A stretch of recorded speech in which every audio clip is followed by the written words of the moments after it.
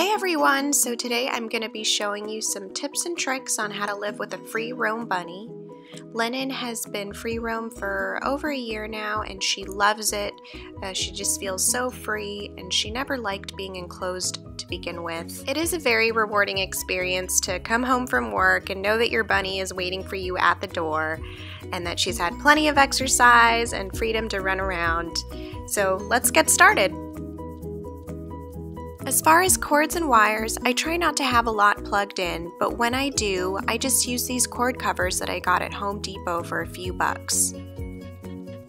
For miscellaneous wires, um, such as my internet and modem stuff, I keep that tucked into a bin um, that I just slide right under my bed and it actually looks better. I don't have anything dangling around um, and she doesn't have any access to it, so it's safe.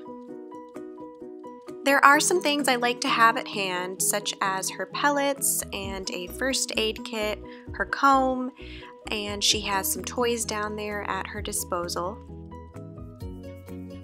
Now I want to get to the NIC grids because they're truly multi-purpose, so I'm going to show you a few ways you can use them.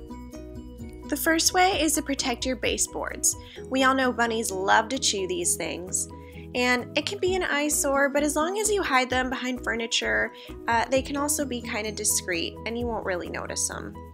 The second way is for your couch.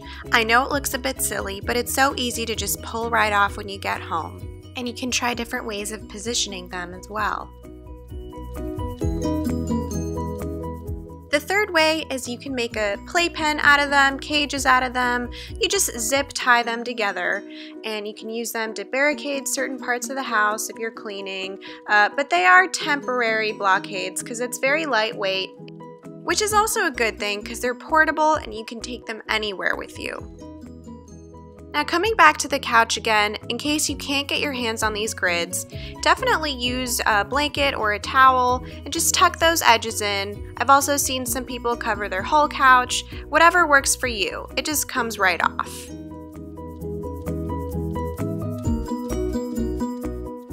Next, we have the pet cam. Okay, some people might think this is taking it too far, but I don't feel that way.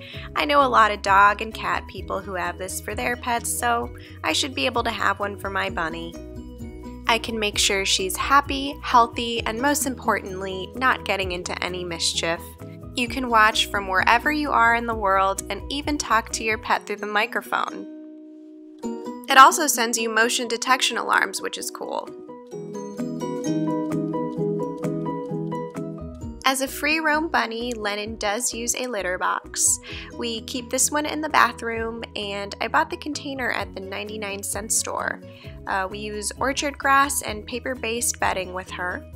It's very important that your bunny gets unlimited hay every day because they like to spend a lot of time in there.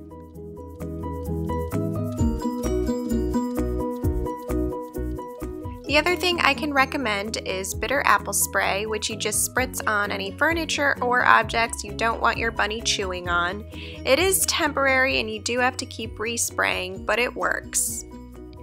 My flooring is laminate, uh, so I did have to get Lennon a rug that she could hop around on and binky on and have something to grip onto.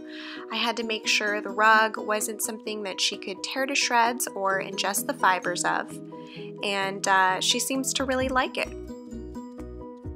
Speaking of rugs, I have to highly recommend getting a cordless vacuum. That way you don't have to worry about your bunny chewing up the cord. Uh, I use this one, which I'll link in the box below. As far as where she sleeps, she sleeps right under my bed where she has a bed of her own. Last but not least, toys are so important. If you're like me, your bunny has tons of toys. It keeps them from being bored and keeps them from being destructive. And remember, an entertained bunny is a happy bunny.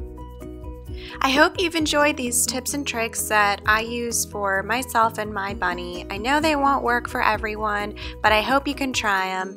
Be sure to check Lennon out on Instagram at Lennon the Bunny and let me know in the comments section what tips and tricks you use. Thanks again!